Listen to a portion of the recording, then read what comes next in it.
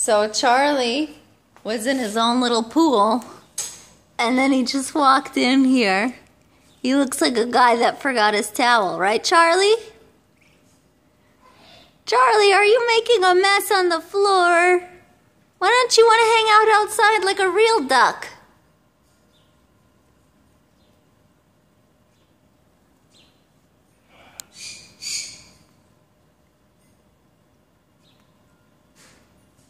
Charlie, you forgot your towel. So cute. You gonna get feathers soon?